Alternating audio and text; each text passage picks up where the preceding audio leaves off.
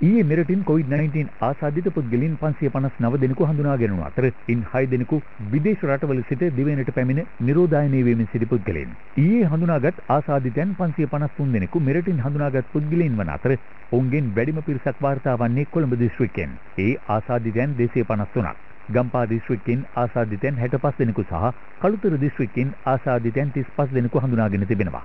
මේ අනුව මිනුවන්ගොඩ සහ පෑලියගොඩ COVID-19 පොකුරට අදාළව මේ වන විට වාර්තා වී ඇති සමස්ත ආසාදිතයන් සංඛ්‍යාව 18487ක්. එම ආසාදිතයන් අතරින් 12437 දෙනෙකු පූර්ණ සුවය ලබා රුහල් වලින් පිටත්ව ගොස් තිබෙනවා.